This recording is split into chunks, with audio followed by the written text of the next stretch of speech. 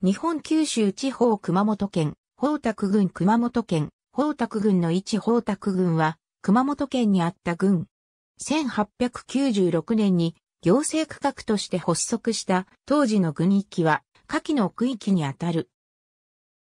1、池田村2、花園村3、河内村4、高橋町5、船津村6、白浜村7、横手村8、春日村9、小町村10、川口村11、総方村12、川尻町13、達田村14、黒上村15、清水村16、川上村17、鈴川村18、寺狭間村19.5町村20、吉野村21、松尾村22、小島町23、城山村24、池上村25、島崎村26、白坪村27、緑郷村28.8分あざ村29、藤富村30、中緑村31、仙東村32、内田村33、中島村34、中原村35、沖新村36、奥小賀村37、海六地村38、浜田村39、白石村40、